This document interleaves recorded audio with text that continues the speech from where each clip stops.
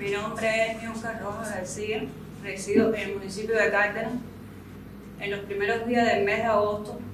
del 2022, a raíz de los hechos de la base del supertanquero de Matanza, fui contactada en las redes sociales por una persona residente en los Estados Unidos quien empleado un perfil de Facebook a nombre de Rolly Pérez me propuso pagarme de forma mensual de unas recargas telefónicas entre 6 mil y 21 mil pesos en moneda nacional si yo cumplía con las indicaciones de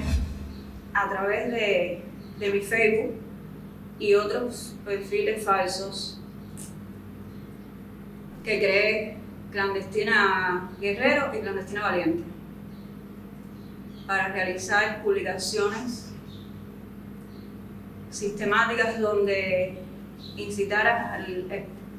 al ejecutar acciones violentas como darle candela a los colegios electorales, a los carros patrulleros, además de visualizar en el perfil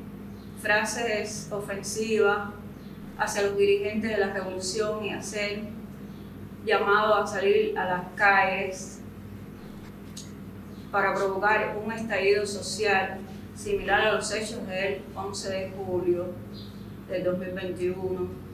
Ante mi negativa de continuar ejecutando estas actividades contrarrevolucionarias, me chantajeó y me amenazó de atentar contra la integridad física de mi familiar más cercano.